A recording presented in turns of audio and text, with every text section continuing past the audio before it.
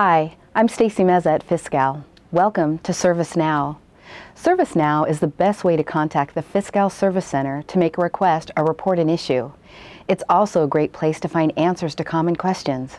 Come along as I navigate through some of the useful features you'll find in ServiceNow.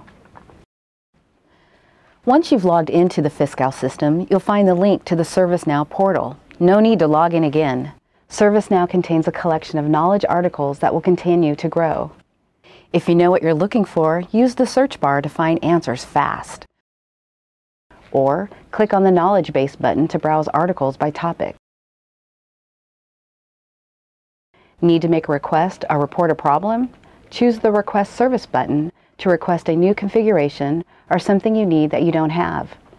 Choose the Report Issue button to communicate with the Service Center about data or software issues you're encountering.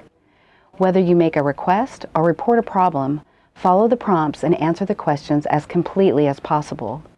Once you've submitted a ticket, your open tickets will show up on your customized homepage. You can click on and track the progress of your open tickets listed under My Requests and My Reported Issues. You'll also find helpful Fiscal system notifications in the latest news section of your page. Check here often. Thank you for taking the time to watch this video. We hope you use ServiceNow in contacting the Fiscal Service Center.